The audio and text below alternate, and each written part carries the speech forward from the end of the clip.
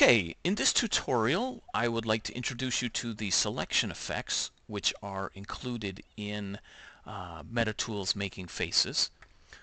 To access these effects what we do is we click on the upper left home icon and we find them here in the second row.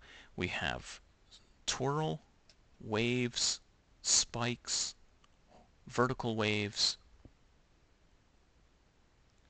pinch, bulge, and ripple.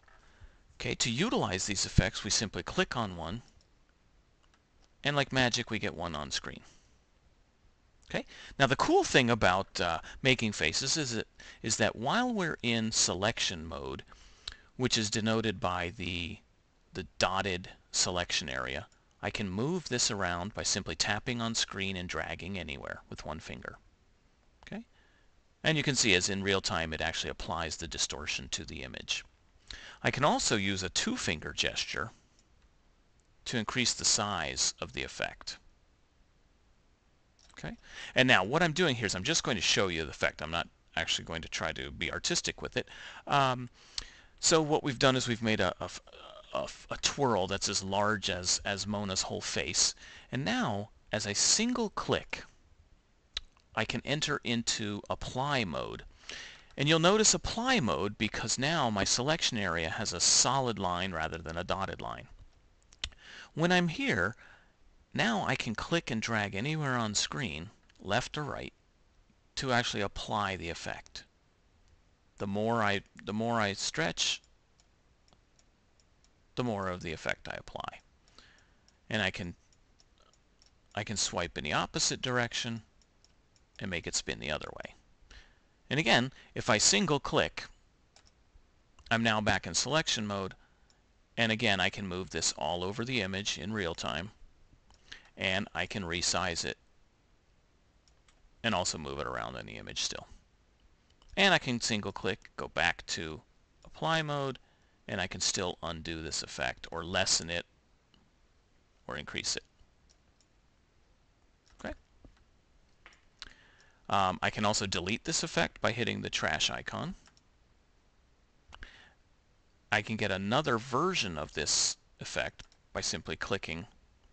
And see now I've created another iteration of it with the same settings as the original. The default settings. Okay, let's delete these. Uh, one other thing that's quite interesting is that I can take, let's say I create one here go into edit, uh, go into apply mode, apply it. Now if I double click on screen, I can clone that effect. So now I have another one with the exact same settings. And again, I can delete these at any time. So one way in which I might use that is I might go in here and grab, say, the bulge icon. I might uh, resize that a little bit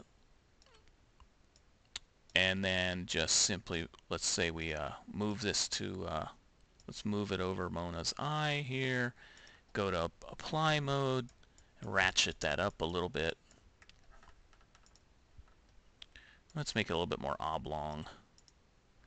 And so let's say we have an effect we like. I double click. I get another version of it. I move that over here.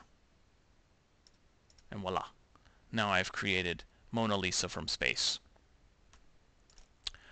one other option we have available here, and, and it, you'll find that it's more useful for some filters than others, but let's say we grab uh, spikes, okay, and I apply spikes here.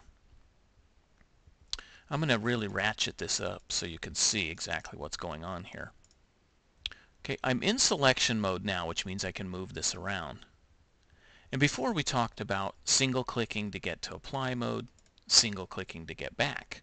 But I can also, I can tap, hold, and drag to temporarily apply the effect.